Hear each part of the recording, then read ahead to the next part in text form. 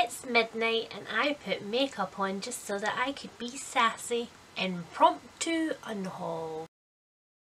Hi guys and welcome to Lianne Bitches About Books really late at night. Insomnia has been utterly kicking my ass for the last couple of days and so I've decided to kick it back by being uber productive whenever I'm awake. This means that I come to you today in my pyjamas in the eternal hopes that eventually I'll fall asleep while I'm filming.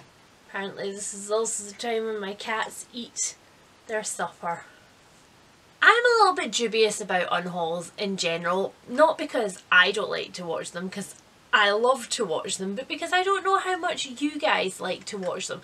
Sometimes for me, I quite enjoy someone telling me what they didn't like about a book and why they wouldn't advise people to purchase it just as much as I like when people tell me all the things they do love about a book and convince me to buy them. Because sometimes there are five star reviews out the wazoo on Goodreads and then there's a couple of people who've rated it like one star and don't want to talk about it very much because backlash. Shouldn't be a thing is a thing. Let's move on. So what I have here is a really mixed bag of books.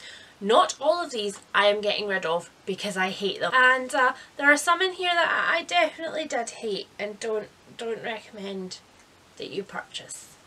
No. The first book that I have got to show you that I am parting with is this beautiful Proof of the Good People by Hannah Kent. I'm sad about this book.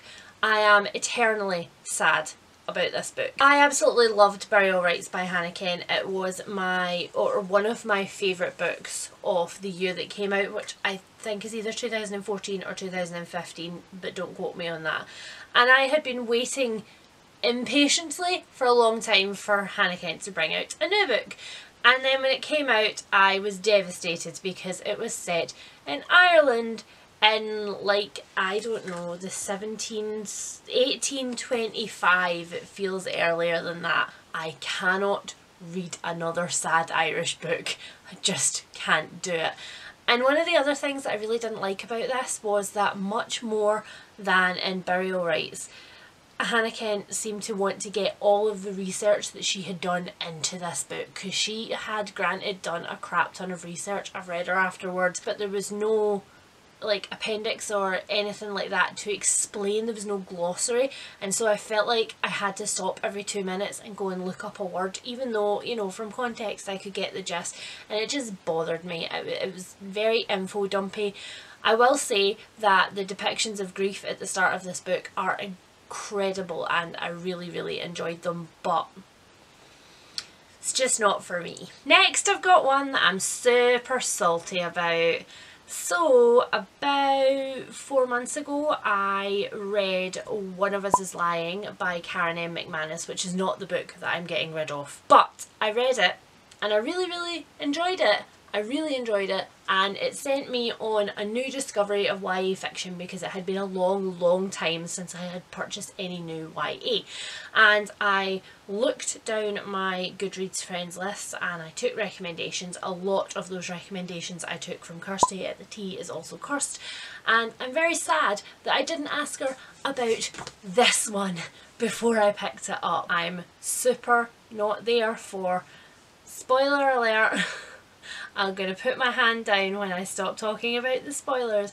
I'm super not there for the drowning fad that is currently going on in YA and I'm massive, massively not there for the glorification of suicidal thoughts and of one character managing to convince the other character that she should live but not being able to convince himself.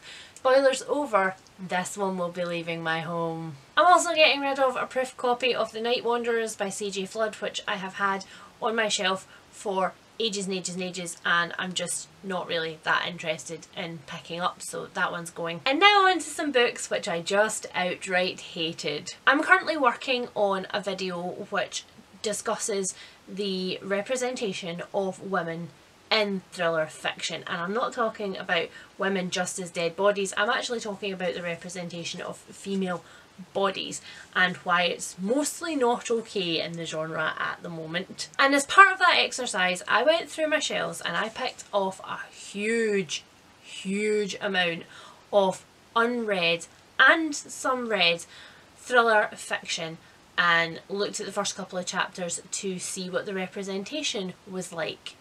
The following books failed miserably and will be leaving my house. The Luckiest Girl Alive by Jessica Knoll. What She Lost by Susan Elliott Wright. The Escape by C.L. Taylor. The Trophy Child by Paula Daly. They All Fall Down by Tammy Cohen. I would actually take a match to this one. If I wasn't so clumsy I would worry about burning down my house. And Unfortunately, The Wife Between Us, which is actually a proof copy of a book which is not out yet and I was hoping to review and love and I'm now not going to be reviewing or loving.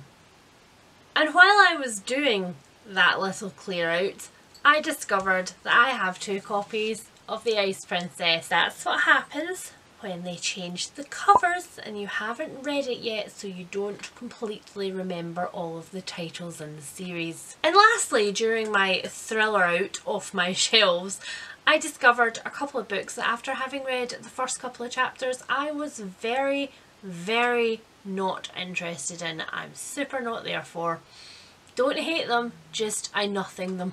I just nothing them and they are they are leaving my house. The first one that I've got is Beside Yourself by Ann Morgan, which is about twin girls who swap when they're younger and then one of them doesn't want to swap back and the parents can't tell the difference and it was just very convoluted and underwritten in some places and vastly overwrought in others so Falling by Emma Kavanagh, not a bad book, just not a very interesting one either. And then one I'm pretty sad about because this is a proof that I had. This actually comes uh, or just came out at the end of January. This is What Doesn't Kill You by Amy Hicks.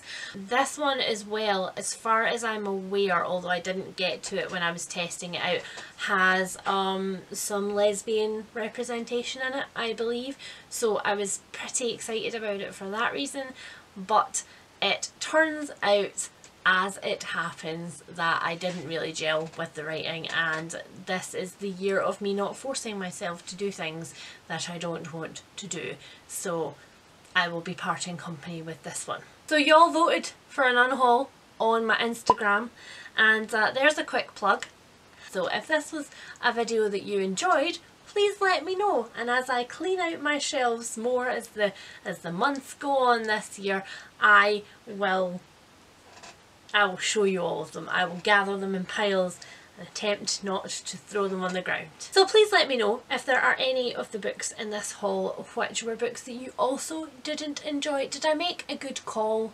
Did I make a good call on some of the books that I decided I wasn't interested in anymore? Did I make a good call in all the bright places? I think I did. And until next time, I remain yours faithfully, L dot. That joke doesn't work because I don't use my last name on my channel. Okay, bye! Ow, that really hurt. Why am I always injuring myself for my art?